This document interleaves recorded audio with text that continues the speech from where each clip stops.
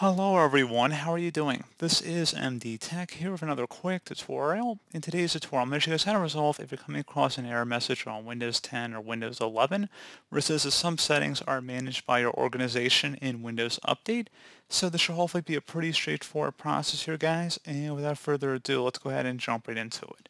So first thing I recommend doing, if you're using a work or school account, you may want to consider disconnecting it and then reconnecting the device if you open up the search menu and type in settings, best match should say settings. Go ahead and open that up.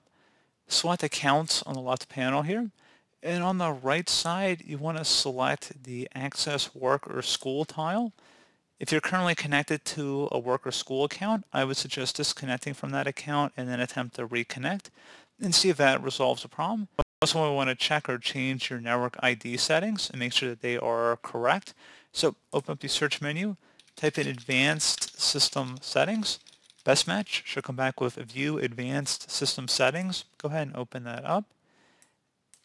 And now underneath the Computer Name tab, go ahead and left click on that. Select the Network ID button.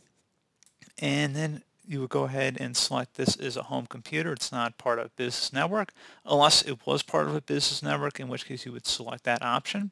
And then you would select Next, and you will need to restart your computer, so go ahead and select Finish and select OK.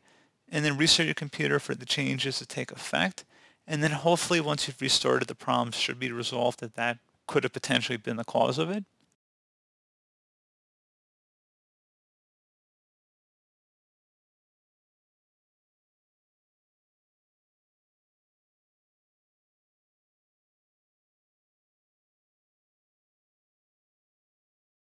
One final thing you can also check if you're running Windows 10 or Windows 11 Professional or Higher Edition, open up the search menu and type in Group Policy.